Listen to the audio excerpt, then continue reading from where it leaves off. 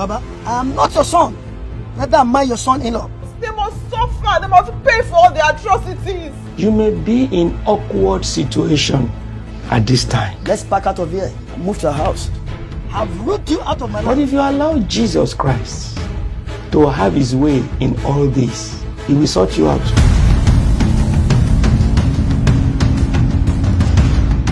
The weapon of our warfare are not carnal, but mighty through God to pulling down the strongholds of the devil. She knew I was involved in an accident a week before the wedding.